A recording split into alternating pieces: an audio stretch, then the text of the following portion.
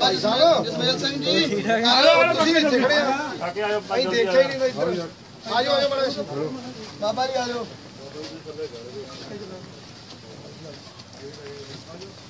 ਇੱਧਰ ਇੱਧਰ ਨੂੰ ਇੱਧਰ ਇੱਧਰਲੇ ਬੰਨੇ ਦੀ ਕਰੋ ਨਮਸਕਾਰ ਕਰਕੇ ਤੇ ਪੈਰੀ ਹੱਥ ਲਾਓ ਲਾਓ ਜੀ ਲਾਓ ਕੋਈ ਇੱਕ- ਮਿੰਟ ਜੀ ਮਾੜਾ ਪਾਸੇ ਹੋ ਜਾਓ ਨਾ। ਲਾਓ ਜੀ ਲਾਓ। ਲਾ ਪੈਰੀ ਹੱਥ। ਲਾਓ। ਚਲੋ। ਚੱਲ ਪਿੱਛੇ ਦਾ ਆਪਣਾ ਮੂੰਹ ਇਹਨੂੰ ਕਰ ਲਈ ਚਲੋ ਸ਼ਾਬਾਸ਼। ਉਧਰ ਨੂੰ ਮੂੰਹ ਕਰਕੇ ਉਧਰ ਨੂੰ ਮੂੰਹ ਕਰੋ ਨਾ ਕੋਈ ਨਹੀਂ ਕੋਈ ਨਹੀਂ ਉਧਰ ਨੂੰ ਮੂੰਹ ਕਰੋ ਉੱਧਰ ਨੂੰ। ਮੂੰਹ ਵੀਰੇ ਇਹਨਾਂ ਦਾ ਕਿਹੜਾ ਕੋਲ ਬਣਾਉਣਾ ਉਹਨੇ ਚਾਰੇ ਇਕੱਠੇ ਖੜਾ ਲੈਣੇ ਇੱਕ ਮਿੰਟ ਚਾਰੇ ਇਕੱਠੇ ਚਾਰੇ ਇਕੱਠੇ ਖੜਾ ਪਹਿਲਾਂ ਇੱਕ ਵਾਰੀ ਇਹਨਾਂ ਨੂੰ ਦੀ ਕਾਰਵਾਈ ਲੈ। ਇੱਥੇ ਇੱਥੇ ਬਾਹਰ ਇੱਥੇ ਬੈਠੋ ਇੱਥੇ ਬੈਠੋ ਇੱਥੇ ਬਾਹਰ ਇੱਥੇ ਬੈਠੋ ਅੱਗੇ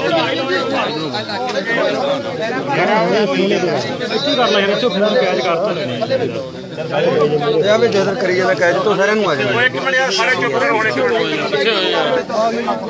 ਸਾਰੇ ਇੱਕ ਮਿੰਟ ਯਾਰ। ਛੋਟੇ ਜੋ ਤੁਸੀਂ ਆਪਣੀ ਗਲਤੀ ਕੀਤੀ ਹੈ ਉਹ ਸੰਗਤ ਨੂੰ ਬੋਲ ਕੇ ਦੱਸੋ। ਕਿਉਂ ਕੀਤਾ ਤੁਸੀਂ? ਕੀ ਬਸ ਠੀਕ ਹੈ। ਸਾਡੇ ਤੋਂ ਗਲਤੀ ਹੋਈ ਜਾਣੇ ਜਾਣੇ ਨਾ ਨੇ ਅਸੀਂ ਅਸੀਂ ਕਦੇ ਕਬੂਲ ਕਰਦੇ ਹਾਂ ਤੇ ਅਸੀਂ ਦੁਬਾਰਾ ਇਹ ਸਾਡੇ ਤੋਂ ਗਲਤੀ ਨਹੀਂ ਹੋਏਗੀ। ਨਾ ਤੁਹਾਨੂੰ ਕਿਹਨੇ ਭੇਜਿਆ ਜਾਂ ਤੁਸੀਂ ਤੁਰੇ ਆਉਂਦੇ ਵੈਸੇ ਤੁਸੀਂ ਸਾਡੇ ਗੁਰੂ ਨੇ ਸਾਨੂੰ ਅਸੀਂ ਸਾਨੂੰ ਮਤਲਬ ਮਾਫੀ। ਬੋਲੇ ਸੋਨਿਆ